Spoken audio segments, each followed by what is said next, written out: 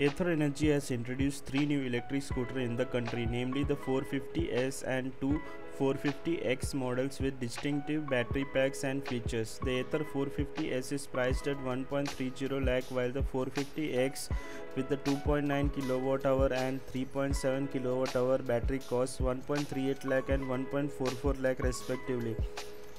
These are the ex showroom prices. The 450S variant is offered with the two battery options, the 2.9 kWh and 3.7 kWh, providing 111 km and 150 km respectively range. Battery packs are connected to 6.4 kWh motor.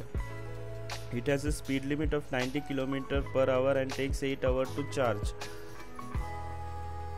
It is equipped with a 7-inch deep view display. The 450X comes in two models, one is 2.9 kWh and the other is 3.7 kWh.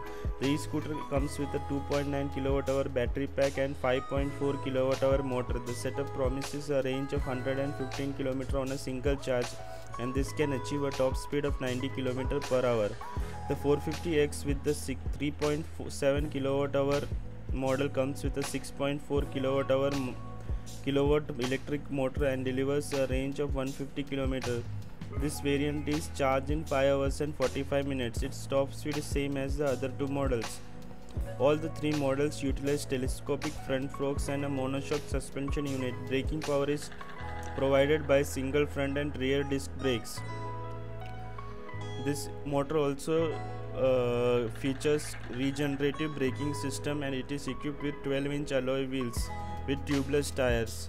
Some delivery uh, design highlights include apron integr integrated LED headlights, handlebar crawl mounted turn indicators and sharp side creases.